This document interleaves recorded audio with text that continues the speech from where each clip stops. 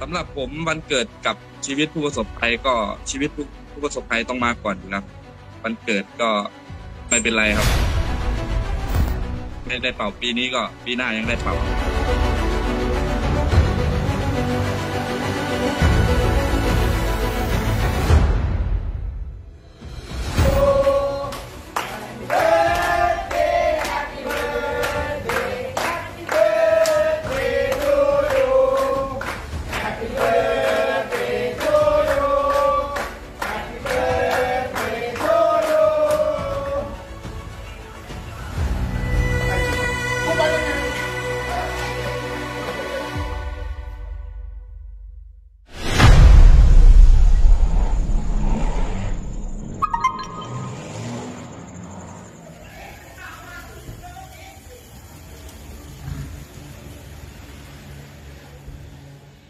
คือเมื่อวานนี้นะครับ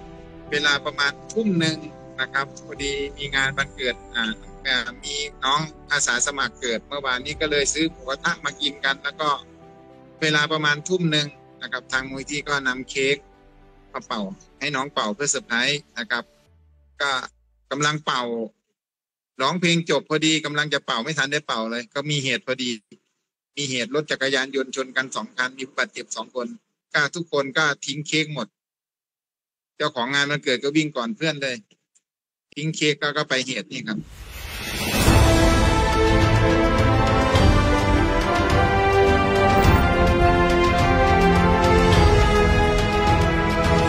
คือมันเป็นสัญชาตญาณของของของคนกู้ภัยนะครับ ซึ่งผมเชื่อว่าไม่ว่าเป็นมูลนิธิไหนกู้ภัยไหน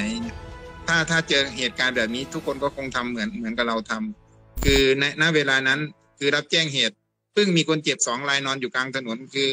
ทุกคนต้องทิ้งหมดนะครับต้องทิ้งหมดสัญชาตญาณเจ้าของวันเกิดไปก่อนเลยนะครับ ผมผมเป็นคนถือเค้กคนสุดท้ายก็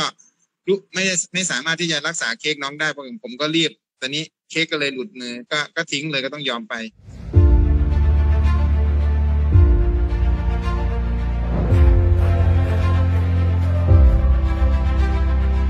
พอถือเค้กออกมาร้องเพลง Happy Birthday จบกำลังจะเป่าเค้กอะครับ รับแจ้งมีเหตุต้องทิ้งเค้กที่กำลังจะเป่าครับ แล้วก็วิ่งเลยครับสำหรับผมวันเกิดกับชีวิตผู้ประสบภัยก็ชีวิตผู้ผู้ประสบภัยต้องมาก่อนอยู่แล้วครับวันเกิดก็ไม่เป็นไรครับ ไม่ได้เป่าปีนี้ก็ปีหน้ายังได้เป่าครับ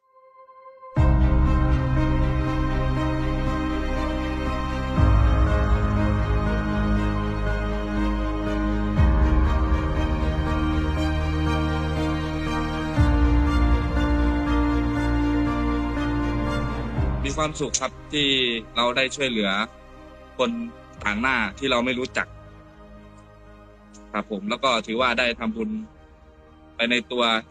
ในวันเกิดด้วยครับ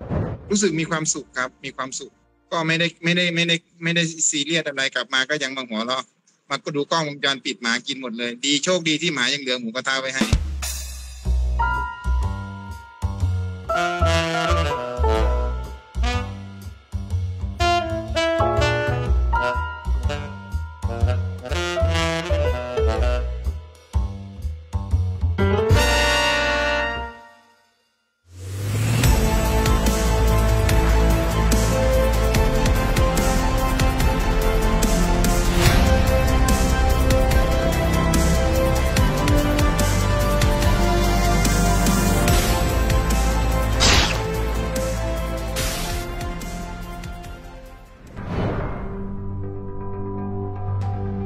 กฎหมายไม่มีเปิดศึกดวนปืนเดี่ยวฆ่าหันศพ